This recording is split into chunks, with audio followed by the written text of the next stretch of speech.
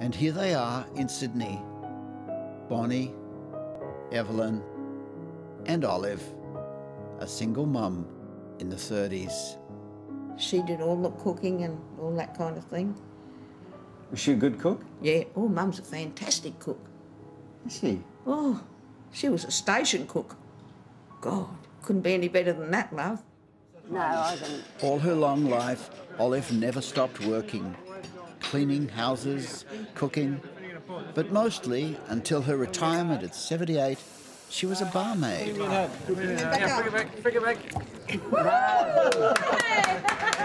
silly. I'm a waste more than I pull. That's a nice head. It's got a nice head on it. Yes.